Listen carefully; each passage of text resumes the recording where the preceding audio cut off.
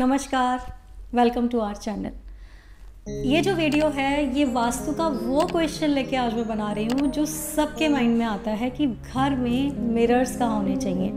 Mirrors जो कि बहुत ही इंटीग्रल पार्ट होता है हमारे घर का, वास्तु का, इसको ऐसी कौन सी जगह पे लगाएँ जिससे इसका पॉजिटिव इफ़ेक्ट हमें मिले, ना कि नेगेटिव ये दिमाग में सबके एक ही क्वेश्चन बार बार आता है कि मैम मिरर कहाँ लगाएँ जिससे हमारे घर में पॉजिटिविटी आए और कहीं कोई गलत मिरर ना लग जाए। तो आज मैं इसी टॉपिक को लेके वीडियो बना रही हूँ। हालाँकि इस टॉपिक को लेके मैंने पहले भी वीडियो बनाया है बट देखिए अभी क्या हो रहा है ना धीरे धीरे टाइम चेंज हो रहा है। हर कोई चाहता है कि अपनी सहूलियत के हिसाब से सिर्फ़ वास्तु को ही नहीं फॉलो करना, वास्तु भी लोग फॉलो करते हैं बट अपनी सहूलियत के हिसाब से जहाँ जहाँ पर हम मिरर लगाना चाहते हैं, वहाँ हम लगा पाएँ और उसके रिजल्ट्स भी हमें अच्छे हैं तो ऐसी कौन सी जगह है जहाँ मिरर लगा के आपको मनी का फ्लो बढ़ सकता है? या आपको एक होता है ना आत्म शांति मिल सकती है? या ऐसी कौन सी ऐसी डायरेक्शंस हैं जहाँ टोटली मिरर प्रोहिबिटेड है? तो ये वीडियो मैंने इसीलिए बनाया कि मैं आपको बता सकूँ कि कुछ डायरेक्शन ऐसे हैं जहाँ आपको मिरर को टोटली अवॉइड कर देना है और कुछ हमारे डायरेक्शंस ऐसे हैं जहाँ पर अगर आप मिरर लगाते हैं तो वो बिल्कुल ठीक है। और कुछ डायरेक्शंस ऐसे हैं जहाँ पर आप मिरर लगाते हैं तो ना तो वो आपको कोई पॉजिटिविटी दे रहा है but at the same time किसी तरह की नेगेटिविटी भी नहीं आएगी। तो चलिए वीडियो को स्टार्ट करते हैं। मिरर जो कि कहते हैं ना, आईना, जो आपका रिफ्लेक्शन दिखाता है आपको। तो वो जो आईना है, वो बहुत सारे राज छुपाए हुए होता है अपने अंदर।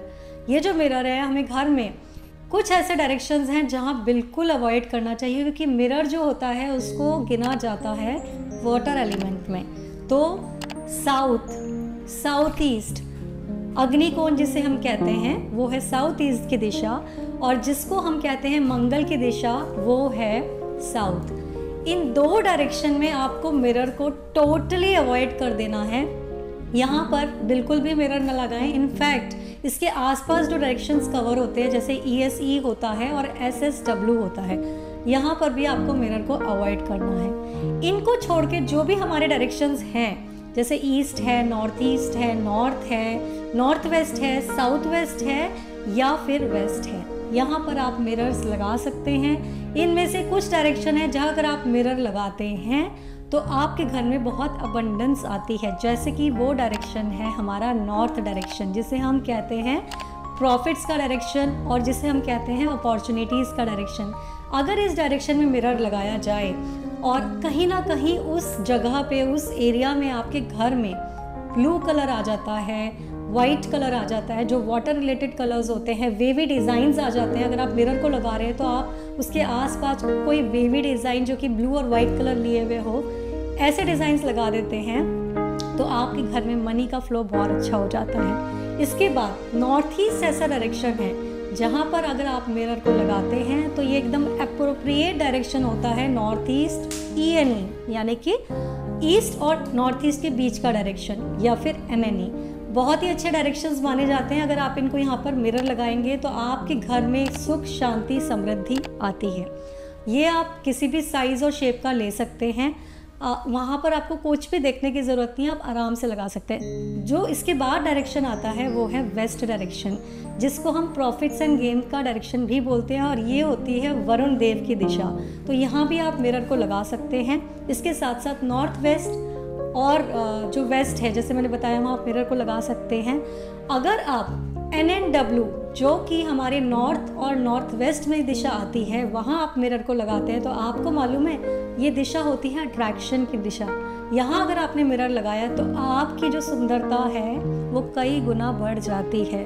वो आपकी जो, कहते हैं ना, चार चाँद लगा देती है। अगर आपने यहाँ पर मिरर लगाया, आपकी पर्सनैलिटी में एक अलग ही उभार आ जाएगा। आपके लुक्स में एक अलग ही अट्रैक्शन आ जाएगा, अगर यहाँ आप मिरर को यूज़ करते हैं। तो आज मुझे ऐसा लगता है, काफ़ी क्लैरिटी आप लोगों को मिरर्स को लेकर आई होगी। अब देखिए, अगर इसके सिवा कोई ऐसे डायरेक्शन है जहाँ आपको मिरर लगाने ही पड़ रहे हैं there is no other option जो मैंने मना की है, उन दिशा में भी अगर आप मिरर्स लगा रहे हैं तो कोशिश कीजिए उन मिरर्स को कुछ ब्लाइंड्स के द्वारा कुछ सुंदर डिज़ाइन वाली तस्वीर मतलब जैसे होता है ना ब्लाइंड हम बनवा लेते हैं, उसके द्वारा कोई कॉटन के या किसी भी क्लॉथ के कपड़े के आप कर्टन्स बनाएँ, कुछ डिज़ाइन उसमें ऐसा करें, उसके द्वारा उनको ढक कर रखें। जब आपको यूज़ करना हो, तभी आप सिर्फ़ उस मिरर को ओपन कीजिए, या फिर कबर्ड के अंदर, बंद कबर्ड के अंदर आप मिरर्स को बनवाइए, तब आप मिरर्स को यूज़ कर सकते हैं उन डायरेक्शंस में भी। बाकी आपको टोटली अवॉइड करना है, क्योंकि मिरर्स दो चीज़ें करते हैं। जैसे मैंने बोला, एक तो वाटर एलिमेंट होता है। सेकेंडली रिफ्लेक्ट करता है। एक और तरीका है थर्डली मिरर जो होता है ना, जहाँ आप लगाते हैं, उस एरिया को बढ़ा देता है। तो अगर हम साउथ साउथ ईस्ट ऐसे जगह लगाते हैं तो एंटी एलिमेंट तो आ ही जाता है। साथ ही साथ वो हमारे साउथ साउथ ईस्ट को भी हमारे घर में बढ़ा देता है।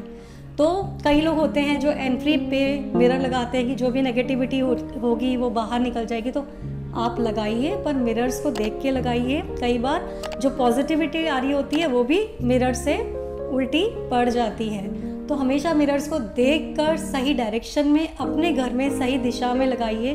पूरे घर में, आजकल इंटीरियर की वजह से या कहते हैं ना, आपका एस्थेटिक अच्छा दिखे, इसकी वजह से लोग सारे घर में मिरर्स लगा लेते हैं। उनको लगाना अवॉइड कीजिए, क्योंकि एक बार आप ऐसा कर देंगे, बहुत सारे हेल्थ इश्यूज़ रिलेशनशिप इश्यूज़ आप लोगों को फेस करने पड़ सकते हैं। इतना इंपॉर्टेंट होता है मिरर और इतना बड़ा इफ़ेक्ट होता है मिरर का। तो ध्यान रखिएगा, इससे रिलेटेड कोई भी क्वेरी हो तो आप पूछ सकते हैं। वीडियो पसंद आए तो लाइक कीजिए चैनल को सब्सक्राइब कीजिए। नमस्कार।